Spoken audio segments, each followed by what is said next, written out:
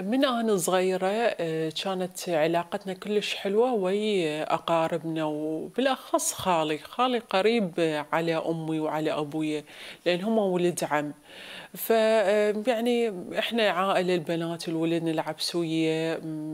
علاقتنا حلوة بس أكو واحد من يمهم الولد شوية بعيد عنا واني يعني حلمي كان هو اتزوج منه لأنه آه، كان يختلف و- حتى أهلي راسمين إنه يعني فلان الفلانه وهذا الحكي. بس بس حكي يعني ما كانت. هو يختلف هو خلوق وحباب. بس مثلا كنا أطفال ما يجي يلعب قليل ويانا ويا البنات منعزل شوية. أم، أني هم أني يعني هواي يجوني أه، كبرت شوية أهلي ما مقصرين خلوني أكمل دراستي. حتى هم بيت خالي كملوا دراسة الولد كمل كلية. أه، أني دخلت للكلية هو قبلي هو أكبر مني كمل كلية وما تزوج.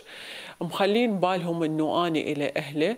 هو ما أعرف شنو يقول؟ شو حتى من أروح إذا تصير مناسبة أو يصير سبب أروح هناك آه، ما يحكي. سلام بس وما بيناتنا شيء. وأنا هم يعني, يعني أستحي مو النوع اللي مثلا آه، أتجرأت إنه أحكي وياه أفهم شخصيته. أبد يعني يعني ما أخذته على وضع خالي وضع آه، الأهل شلون علاقتنا حلوة وقوية بيناتهم. على هذا الأساس يعني مفكرة أنه راح تنجح علاقتنا. آه، تخرجت أنا من الكلية. بعد ما تخرجت آه، أمي يعني خايفة من موضوع إنه إحنا خاف ما نلقى تعيين خاف ما نلقى شغل. فتفكرت بالزواج. أمي راحت البيت خالي وحكت ويا خالي قالت له إنه آه، يعني خلي ليش ما تأخذونها؟ خاف يجوها وتدري يعني حلوة وما قاصرة وكملت كلية خاف تتزوج. فأنا أنطيك إياها. هاي بنتكم وخذوها.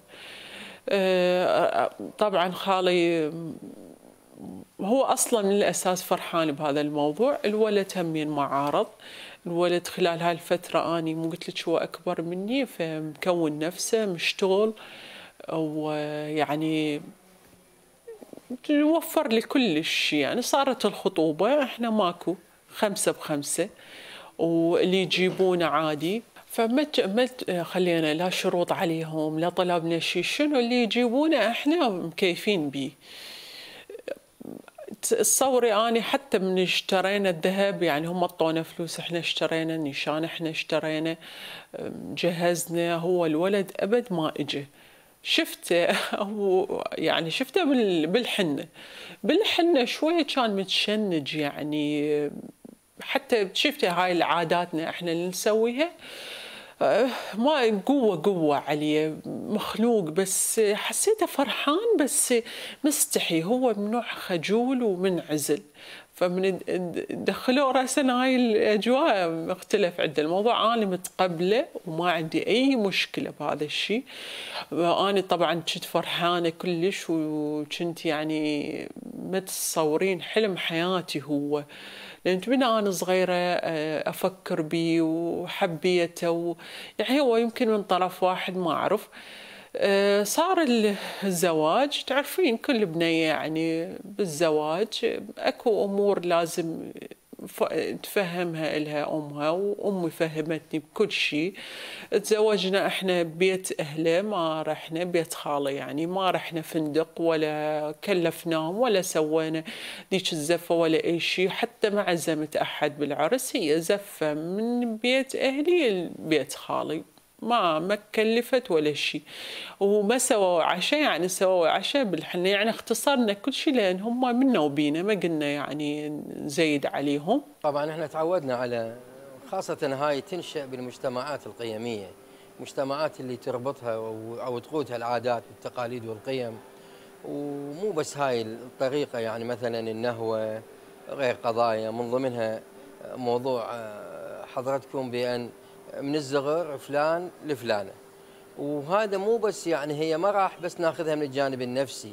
راح يصير هناك شبه مثلا عندما يسمى بالاقتران الشرطي وراح تملئ املاءات البنيه بان لأن بالتكرار إجت خطيبة فلان من الطفولة وينشأ معها هذا الحلم وينشأ بحيث راح يحددها.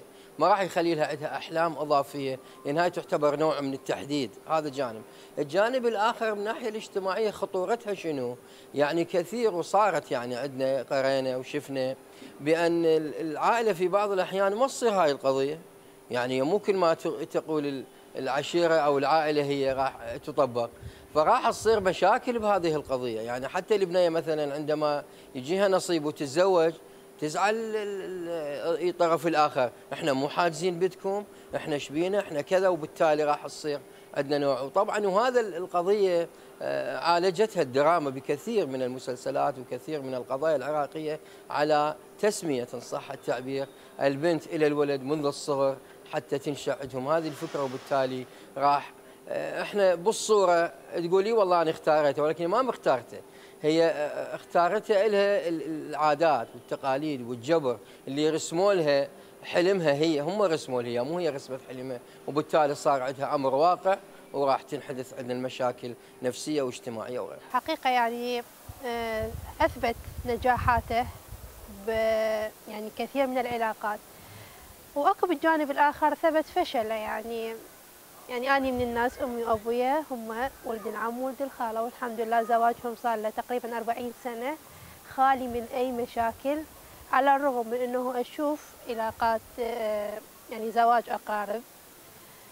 يعني من يوم زواجهم لحد اليوم هم مشاكل ما يعني ما شافوا لحظة صفاء أو يوم صفاء. فمين ناجح وبيفاشل يعتمد على إدراك الزوجين. حتى هسه هم اكو دا يتزوجون زواج اقارب أولاد العم أو أولاد الخال أو أولاد العمة يكون ناجح 100% هذا يعتمد على المستوى الثقافي المستوى العمر آه، الحالة المادية. يعني هاي الظروف كلها هي اللي تؤدي إلى نجاح أو فشل الزواج سواء كان زواج الاقارب أو الزواج العادي طبعا أستاذ إحنا كل شيء يعني إحنا دائما نقول قضية الزواج. هناك زواج داخلي وخارجي اللي هو زواج الغرباء وزواج الأقارب. إحنا ما نميز بين الاثنين. هنا عندنا قاعدة. القاعدة هي التفاهم والحب وهذه القضايا الخلق وغيرها. هذه توفرت بالقريبة وبالغريبة. إحنا ما عندنا أي مانع كعلم اجتماع. ولكن القضية في بعض الأحيان يعني هم ينطونا قالب معين بأن أنت هذه زوجتك وهذه مرتك واخترنا لك إياها وبالتالي راح يصطدم بقضايا معينة يتهمونه بأن هو عدم التفاعل هو مو رجال ولكن هي القضايا النفسية. طبعا هذه الحادثة وهاي القصة تذكرنا بقصة رواها آه، الدكتور علي الوردي الله يرحمه في أحد كتبه. علي الوردي بالخمسينات أو يعني بهذا التاريخ كان يدرس في أمريكا وكان يرتاد فندق معين وهاي الفندق صاحبته أمرأة. فصار يعني معميل وزبون دائم إلى الفندق فصارت عندهم علاقة يعني أخوية وعلاقة زماله هاي أم الفندق عندها بنت دائما ترتاد ويا شاب وينظر لهم علي الوردي يوم من الأيام قالت له علي عود هذا خطب بنتي أنت شو تقول؟ قالها والله أني أشوف هاي البنية منفتحة والبنية عندها حرية أكثر من اللازم حسب ثقافتهم يعني اللي هي مثلا الرقص وغيرها. وهذا منعزل هذا عنده عقدة دائما بالكنيسة دائما ينتقد هذه الأشياء. وبالتالي ما راح اعتقد راح ينجح هذا الزواج أو يستمر. قالت له لا إحنا مو مثلكم نتغير إلى آخره. والله علي الوردي يقول ورا خمس سنوات دزت له برقية من رجال العراق. قالت له عود الجماعة طلقوا. يقول مو قلت لك يعني. هذا المثل وهاي القصة نستفاد منها كعلم اجتماع نقول إحنا اختياراتنا للزواج بها كثير من الأخطاء. الخطأ الأول لحد هذه اللحظة رغم هذا التطور وهذا العلم وهذا الانفتاح اللي أصبح الشاب يغمض ويشوف مو مثل قبل إلا بيوم الدخلة. ولكن لا زال الشاب العراقي نرجع إلى دكتور علي الوردي يقول يحب على طريقة دون جمان ويتزوج على طريقة حج عليوي. يوم شوفي لي مرة على ذوقك يحب دائما المرأة خلف الأسوار المرأة اللي ما عندها علاقة المرأة المرأة إلى آخره. فإذا هو تغير ماديا ولكن فكرة بعد ما متغير إلى هذه الحال. لذلك إحنا يجب أن نرسم استراتيجية خاصة لقضية الزواج. أنا اليوم من يختاروا لي بنت خالتي ويختاروا لي هاي يمه هاي لحمنا ويمه هاي طيبتنا وهذا خالك ومحنة الأم. وتحكي أبو ذيات ودارميات وتبكيني. هي مو شغلة محنة ولا شغلة معزة خال وعم هاي عمر أنتم ورا السبعة كل واحد يشوف طريقة وأبقى أنا بالمسرح أنا وياها. لذلك كثير من الزواجات تخفق على هذه النظريات. حقيقة هذه يعني فد شيء هو مو صحيح. يعني الطفل أول يعني أول ما يبدي بسنوات عمر البداية. أو سواء أو ولد أو بنية يحكمون عليه أنه أنت تأخذ بنت عمك أو أنت تأخذين ابن عمك. يكبرون على هذه الفكرة. الإنسان يوميا يتغير تفكيره يوميا يتغير آه، إدراكه للحياة وعيه للحياة. يعني هو راسم إنه هو راح هي خلاص يأخذ ابن عمه. من يوصل إلى مرحلة المراهقة أو مرحلة الرشد أو حتى مرحلة البلوغ راح يشوف إنه الشخص اللي اختاروا له اياه أهله وفرضوه عليه ما ملائم له لا فكريا لا آه، آه، يعني كمستوى علمي ربما الولد يفشل البنية تنجح أو البنية تنجح تفشل الولد ينجح يعني ما يصير بيناتهم آه، يعني تناغم أو أفكارهم ما تكون مشابهة هنا راح يصير مشاكل ما قبل الزواج وحتى وأن تم الزواج فهي تبقى مشاكل مستمرة وكثير بمجتمعنا يعني هاي الحالات إنه من هم وصغار واحد للاخ من يكبرون يتزوجون يفشلون. بيوم العرس يعني حسيته هو خايف مني وكلش يعني مجبجب يعني مبتعد عني. فأني قلت لهم خلينا نصلي وبعدين نتعشى شوف شلون يعني تعرفين هاي الأجواء. ف يعني مرت خالي وخالي وكلهم فرحانين وخذنا بعدين صور وهذه. عافونا بوحدنا. الولد يعني ما حكى بس يعني كم كلمة وياي ونام. يعني وحدة فرحتها وأول يوم وهذا أنا قلت يجوز يعني هو يعني تعبان وأنا هم تعبانة تعرفين صالون وهيك شيء. قلت بي خالف نتاجل الموضوع على باكر. من الصبح جتي أمي تعرفين هاي تقاليدنا وهاي ها بشري شنو صار البارحة؟ آه ما قلت شيء. سكتت وما قلت شيء. قلت يا ماما بعدين أقول لك. زين آه وحتى هي مرت خالي ما سالتني بهذا الموضوع.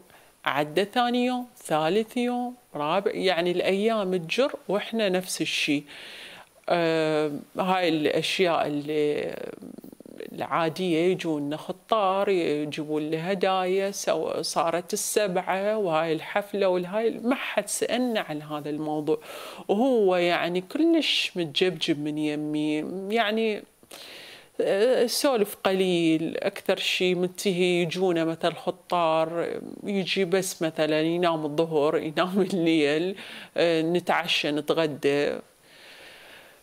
أنا وياهم ظليت عادي يعني أساعدهم بالبيت ساعد البنات. عدى شهر الأول وهذا الموضوع ما صاير لأي شيء. ظلوا يسألون على موضوع الحمل يسألوني نريد نفرح بيكم وهم يدرون أنه هذا الشيء ما صار أنه ما صار بيناتنا أي شيء. يعني ما صرنا زوج وزوجة عاديين. الموضوع زاد عن حده فأنا ظليت يعني أذب عليه كلام أقول له أنت شنو؟ ما تحس أنت شنو؟ هو ساكت أبد ما يحكي وياي. مر شهر ثاني بعد أنا ما تحملت. مر شهر ثاني قلت لأمي وفاتحت الموضوع أمي ظلت تحكي علي ليش ما قلتي لي من البداية؟ ليش ما هاي؟ ليش تاخرتي صار شهرين وساكتة. هاي تقول لي الشغله سهلة وما يراد لها شيء واني يعني أحكي وياهم. قلت لا تحكين. يعني أنا أستحي وهو همين يعني يعني خاف يحجون عليه خاف هاي خاف هو يضوج. تعرفين الولد ومن يعرف هذا الموضوع ما صاير له يعني مو مو حلوة. ما ينطون مساحة للجانب النفسي للجانب التوافقي. مجرد بنية حلوة ومطيعة إلى عمتها وسمعتها طيبة واكتف هاي أساسيات ولكن الأساس الثاني اللي هي. يعني أنا قريت قصتكم اللي هذا. آه، يعني بيها جانبين. الجانب الأول الولد ما كان عنده المرض الجنسي بالدليل على أن أتزوج مرة ثانية وتكيف. إذا هي القضية نفسية القضية اجتماعية بذات. وهي البنية نفسها احترفت.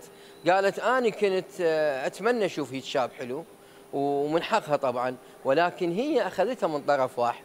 وكانت تحترف تقول منعزل ما يحكي إلى يوم الدخلة هو ما يحكي زين أنت أولا شكو استعجلتي بالزواج. إذا أنت بعدك فقط ما شفتي شنو السر اللي مخلي هذا الولد صامت وهذا الولد منعزل. يجوز يخاف من خاله من أبوه. يجوز يخاف من أمه. يجوز يستحي ما يريد يشتت العشيرة. وكثير من الزواجات يقول والله أنا تزوجت لأن أمه بها قلب وبس ارفض تموت و... وتطيح برقبته بعد أنب ضميري طول عمري. لذلك هذه الزواجات في بعض الأحيان تحقق غايات ولكن مو غاية الزواج نفسه اللي الآن المرأة خرجت تعلمت وخرجت للعمل وصارت آه، بمصاف الرجل. يعني هي والرجل كلاهما نفس المسؤوليات يتحملوها نفس الأعمال يقومون بها نفس الشهادة ياخذوها نفس المستوى يوصلوا له. فيعني ما صار أكو فارق بين الرجل والمرأة حتى إنه المرأة ممكن إنه تنضرب. يعني هذه الحالة صارت كلش مرفوضة بالمجتمع. أولا هو على الزوجين أن يتفاهمون على الأشياء أو على نمط حياتهم اللي ممكن يتقبلوها أو ممكن يرفضوها ممكن تكون صحيحة ويمشون على بيها أو خاطئة ويتركوها يتجنبوها يعني يحاولون يتجنبوها. يعني آه وأن صارت مشاكل ربما مرات تصير آنية مواقف آنية سلوك آني يؤدي إلى مشكلة تؤدي إلى ضرب. هنا نقول بعد يعني حدثت المشكلة حدث الضرب. ومن أول مرة إنه رأسا نرجع للطلاق. يعني وحتى يعني سبحان رب العالمين إنه الإنسان من يخطأ بحقه يسامحه أول مرة ثاني مرة يسامحه. فكيف إحنا بشر يعني ما نسامح بعضنا؟ طبعا هي من الناحية الطبية خطأ ولكن أنا أشوفها من الناحية ال ال الاجتماعية فد مؤشر إيجابي جدا. نقول الحمد لله والشكر لا زال عندنا شباب يستحون ولا جال عندنا ماكو هي جرأة وماكو هذا لأن هذه القضية خاصة بالمجتمعات مجتمعاتنا تعتبر نوع من المحرم نوع من التابو نوع من من الممنوع نوع من من المستحب بين قوسين لذلك آه، يعني صح هي بها ناحية إيجابية ولكن بها ناحية سلبية لأن ترتبط قضية رجولة قضية شرف وهاي المفاهيم اللي إحنا نعرفها. هذه التثقيف شلون يكون؟ يعني هسه ما تصور واحد اليوم ما عنده فيس وما عنده وسائل تواصل. قبل ما كان عندنا تواصل فقط يعني اللي هي القنوات وما تبث هكذا مواضيع. ولكن الآن بحكم هذه الثقافة هنا الأم لازم تدرج البنت شيئا فشيئا. يعني تعلمها على بلوغ البنت بالبداية كيف تصنع؟ إلى أن تدرجها على قضية الارتباط العاطفي والارتباط الجنسي بين الجنس الآخر هو مسألة ربانية ومسألة طبيعية وما بها يخجل ولكن ضمن حدود معينة. وأيضا بالنسبة إلى الولد آه، أصدقاء آه، أو أخو أو أبو من هذا ولكن بطريقة لا تخدش الحياة. إحنا ليش نقول ما تخدش الحياة؟ لأن لازم أكو حدود معينة. هذه الحدود. أكو بيهم والله أنا الصديق هواي يحجون. قل له شلون علاقتك ويا ابنك؟ والله أنا ابني معتبره صديقي. أسولف وياه وصور وأفلام يا أخي مو لهالدرجة.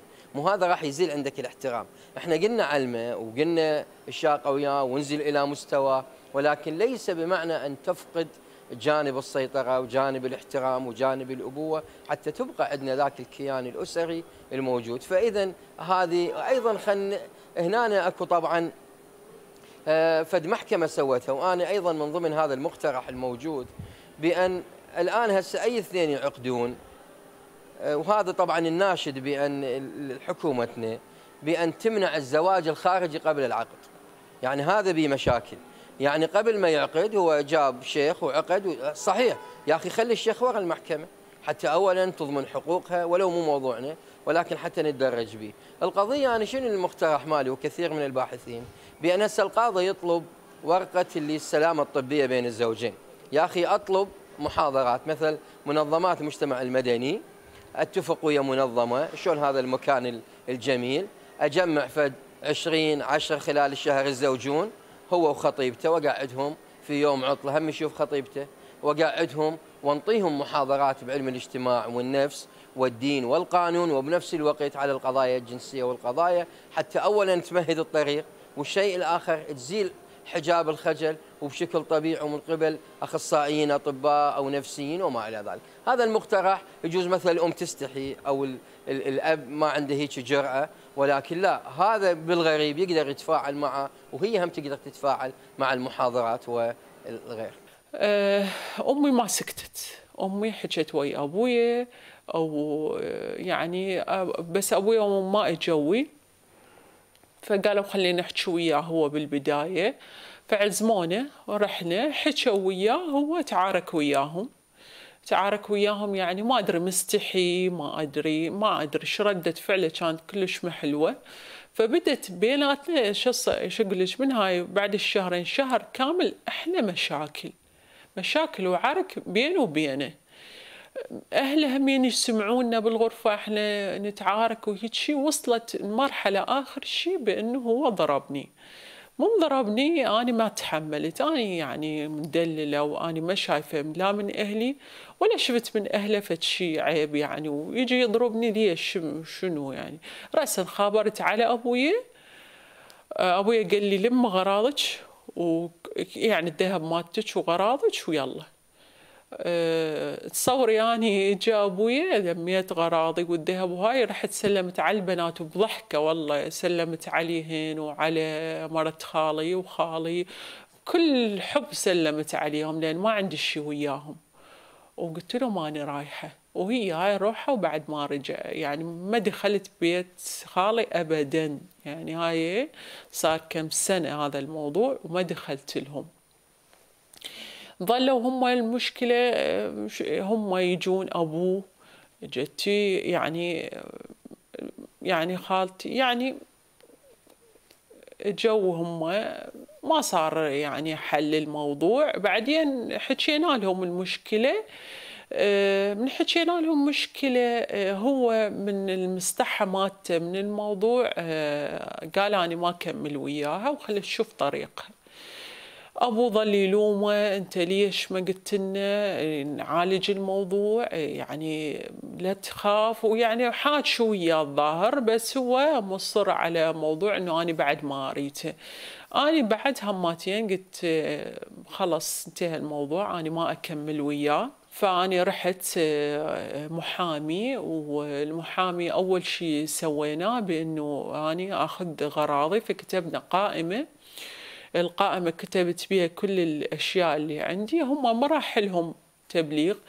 راح لهم تبليغ هو كلش مقهور كان. راح أخويا ويا سيارة رأسا أعطيناهم القائمة وياخذ الغراض. طبعا هم من هذا الموقف كلش ضاجوا من يمنا وبعد ماكو يعني حل. قالوا خلص حتى دزونا ناس قالوا لنا إحنا يعني خلي تمشي بالإجراءات خلي تريد خلي تطلق نفسها خلي شو تريد تسوي خلي تسوي. فأخذت آني غراضي وصارت الإجراءات. طبعا إجراءات هو الولد أنا ما شفته أنا وكلت المحامي وصارت وطلقت من يمه. طاني المؤخر طاني كامل.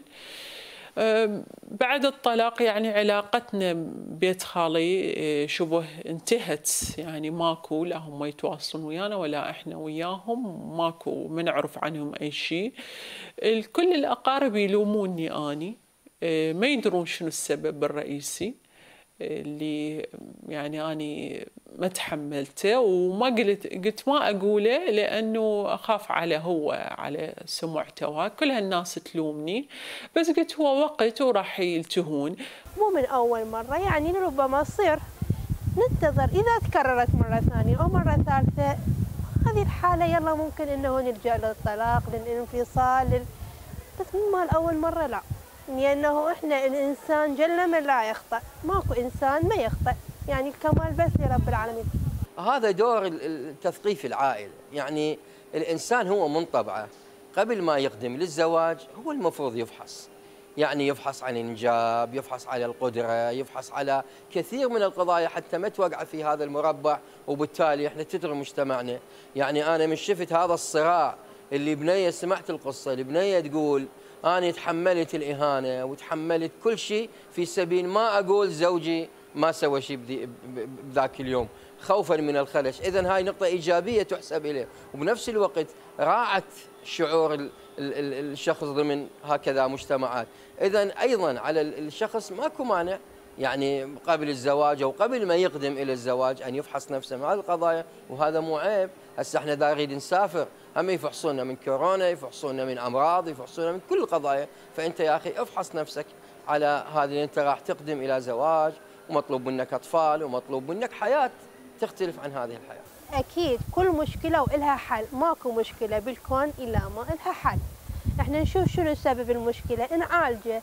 قدرنا نعالجه نعالجه وتنتهي المشكلة. والله أستاذ تشوف هو الاتهامات موجودة موجود.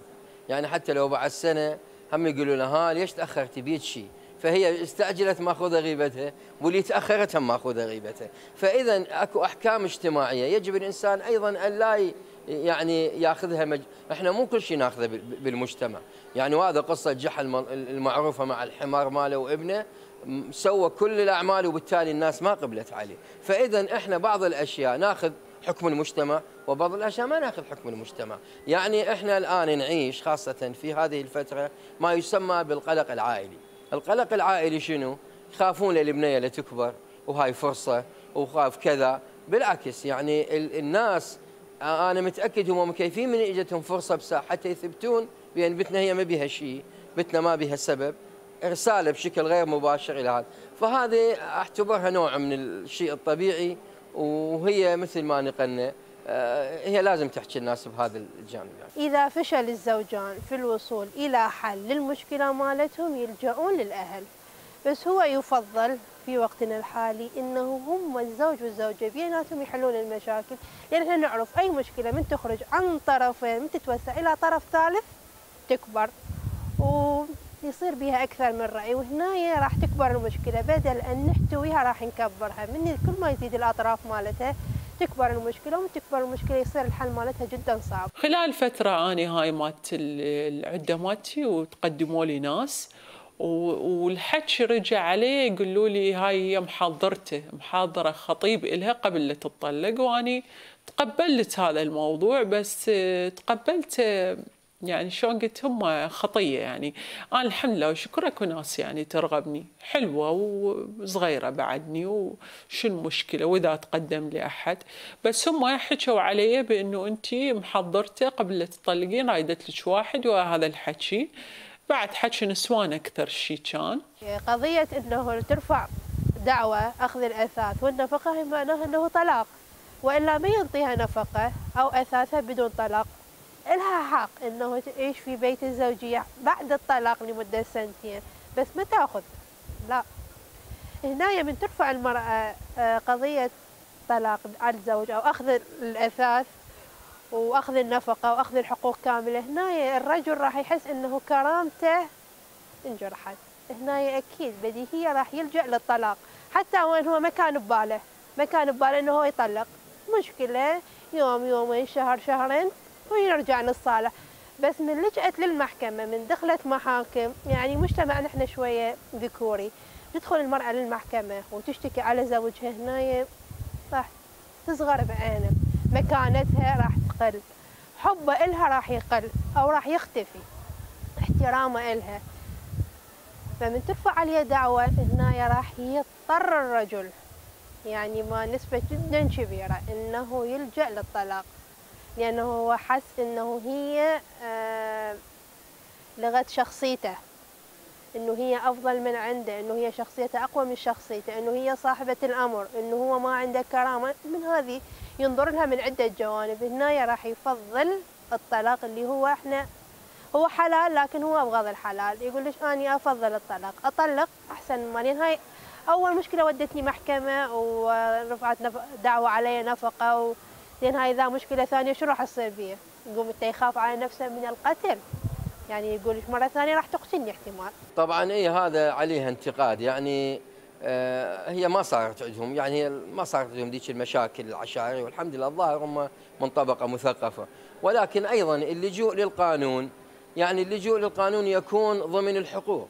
يعني طلاق واوراق ولكن هذه قضايا النفقة وقضايا. يعني أنا أعرف كثير من الأصدقاء من شاف البنية ما بها تجاوز والولد أيضا ما بيتجاوز كان تبادر ال- ال- العائلة يا إحنا ما صار قسمة وما طلع من عندكم شيء ولكن قضايا بسيطة. تقدرون تتقبلون الغرفة هدية انه أو مثلا ناقص من ال- ال- الغايب هالقد لأن ما صار عندهم آه، يعني شغلات خسائر كثيرة.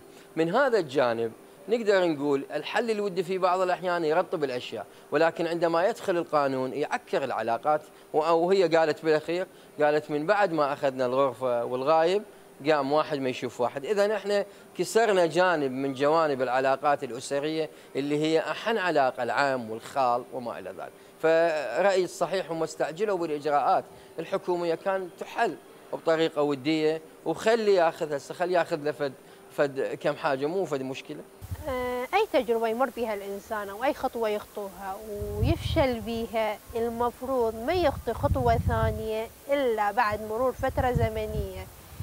يدرس سبب الفشل مالته شنو اللي أدى ليش؟ حتى يكون فد فكرة واسعة عن سبب هذه المشكلة حتى من يخطي الخطوة الثانية. نفس الموضوع يتجنب هاي المشاكل يتجنب هاي الأسباب اللي أدت يعني من اتطلقت آه، شنو الأسباب الطلاق؟ مشاكل. شنو أسباب المشاكل؟ سواء منها أو من زوجها أو تدخل الأهل أو أو عدم الإنجاب أطفال أو إلى كثير من الأسباب. ندرس المشا... الأسباب نعالجها. يلا أخوض يلا أخوض تجربة ثانية. حتى إنه ما أفشل لأنه أني إذا أخذت تجربة ثانية بعد فترة قصيرة وأني ما دارسه الأسباب وما معالجتها راح أفشل مرة ثانية. آه، خلصت العدة مالتي وشفت هذا الولد يعني زين ما بي شيء فش اسمه وافقت عليه وانخطبت خلال آه، هاي الفترة وهذه وجتني فرصة الحمد لله وشكر تعيين آه، تعينت. وفترة إحنا بقينا كم سنة ما عندنا أطفال وهاي الفترة يعني شوية كانت صعبة علي. أنا أسمع أخبار هو طليقي يعني أسمع أخباره وهاي بعد ما متزوج وهاي بعدين سمعت إنه هو تزوج وهم ما صار عنده أطفال بالبداية. إي بعدين الحمد لله والشكر أنا صار عندي. بنية وهو صار عنده ما أعرف ولد أو بنية. يعني آه، علاقتنا يعني صارت آه، شوية أحسن هسه. أنا طبعا لا شايفته ولا هم شايفتهم. بس هو يعني آه، بيناتنا يعني ممكن يعني يمكن بالمناسبات واحد يشوف الثاني. يعني ما بعد خلص أنا منعزله ببيتي وهاي. قلنا إحنا آه، أي إنسان يمر بتجربة فاشلة المفروض يأخذ وقت آه، يدرس. السبب الفشل مالته. حتى لا يقع بنفس الخطأ. ارتبطت هي. يعني طلقت من ناية ورا فترة. ارتبطت بشخص آخر. تأخر الإنجاب. هناية يعني راح تبدي تفكر إنه هم راح تفشل. إنه هاني هاي تجربة ثانية. هنا يكون حتى حكم المجتمع عليها راح يكون قاسي. إنه هي من طلاق أول طلاق ثاني. هنا مشكلة راح تكون عندها.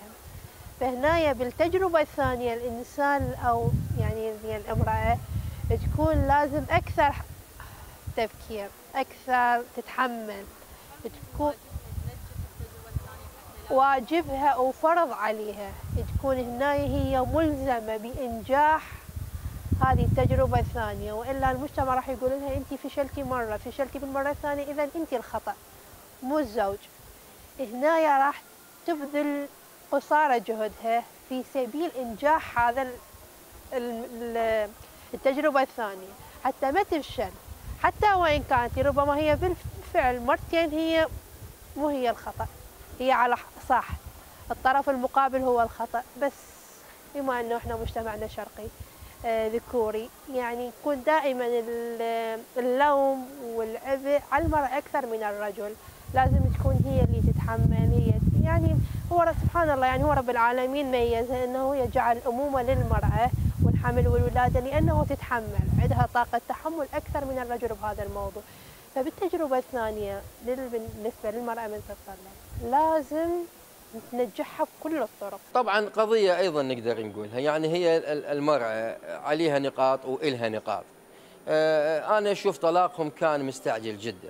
يعني إحنا مو مجتمع غربي وتنتهي الموضوع. لا هذه آه، يعني كسرت جانب معين من جوانب العشيرة وأنا متأكد هسه العشيرة هي انقسمت انقسمت. شيء وياهم وشيء صارت ويا البنيه وهذا شيء طبيعي. فكانت آه، تصبر. يعني تدري أكو سنين يبقون. يعني كانما يكون الولد خجلان لا عرضوا على طبيب لا جابوا له بحث اجتماعي.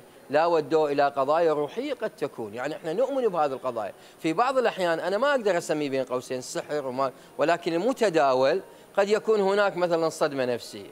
قد يكون عنده فد إيحاء فد خوف فد رؤية شاف. يعني القضايا الروحيه ما لازم نهملها. فلازم نوديها مثلا إلى مراقد مقدسة إلى رجل دين. مو من باب آه، مخالفة لا من باب يجوز يرتاح نفسيا يرتاح روحيا. وبالتالي هسه إحنا كثير من الأطباء يعجزون عن حل مرض.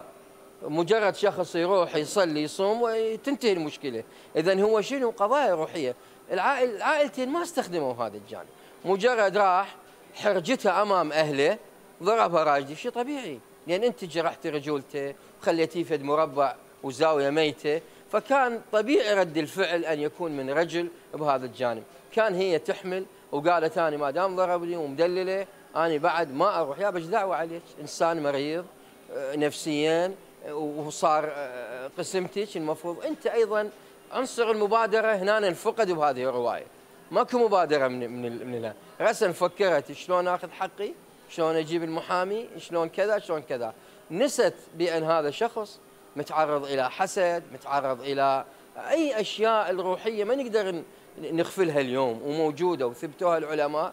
ما طرقوا هذا الباب. لا طبيب نفسي لا طبيب روحاني لا قضايا دينية. أقول له إي حبيبي ولا يهمك أخذه وأروح لتركيا يا أخي. أغير عليه الجو. أخذه أروح إلى بلد معين وأصبر وياه. إذا إذا مثلا الفحص ماله سليم والعلماء يقولوا لك إنسان ما بي شيء ودينيا okay. بعد ذلك يقول جوز هو ما يريد نقابل لازقت لاني. لكن أنت ما طرقتي هاي الأبواب. قبل طلقني وانتهى الموضوع.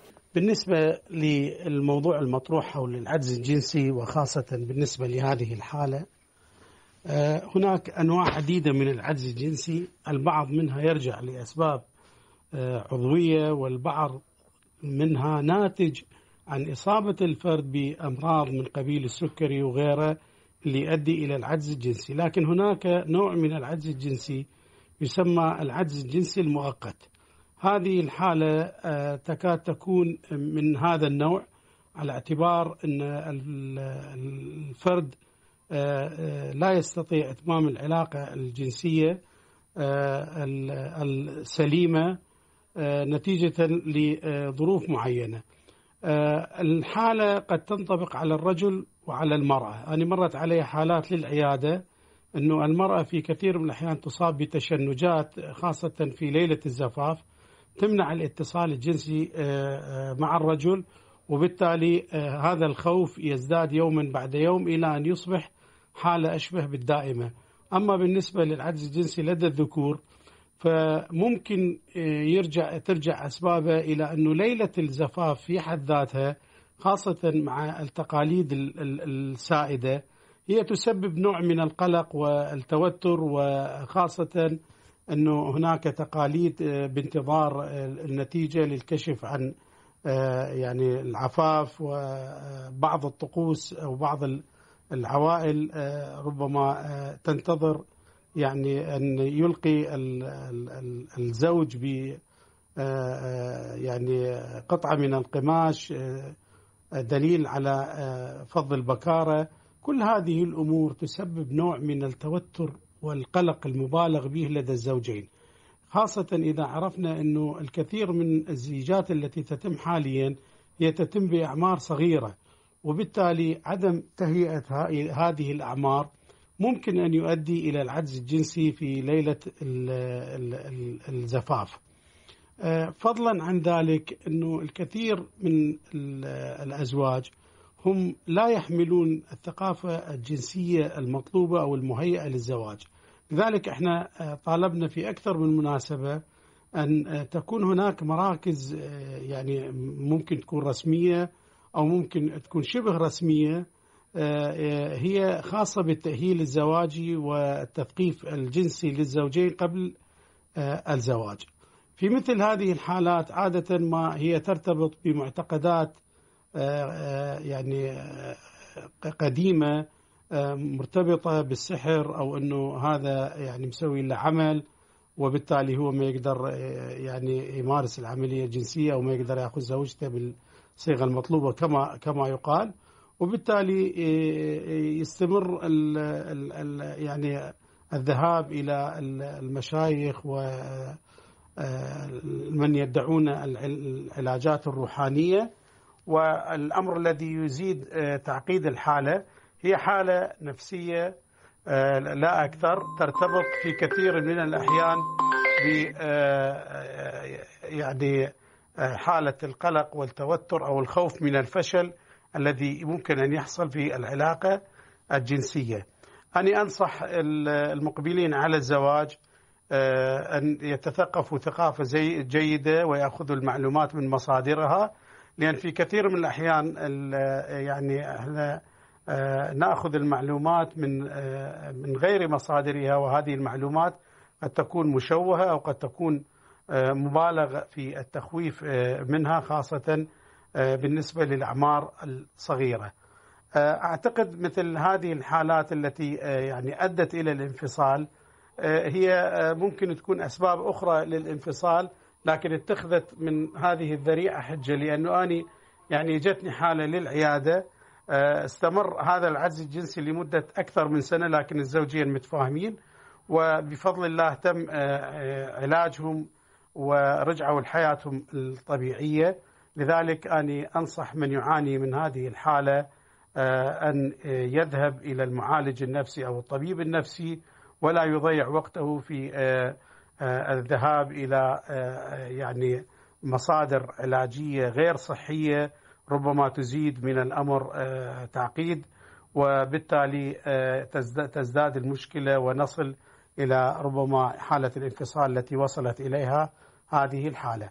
عموما وباختصار شديد أنا أنصح يعني المقبلين على الزواج أن يتثقفوا أكثر حول العملية الجنسية الصحيحة وأن لا يعتبروا إنه يعني إتمامها في ليل اليوم الأول هو بمثابة الانتصار لأن هناك حالة من التوتر، حالة من القلق، حالة من الارتباك ربما تكون لدى الطرفين وبالتالي الزيجات التي تقليدية تكثر فيها هذه الحالات أكثر من الزيجات التي تزداد فيها يعني مدة الخطوبة فيتعرف الشريكين على بعضهم البعض ويطمئن البعض للبعض الآخر لتتم عملية الزفاف والعملية الجنسية بسهولة.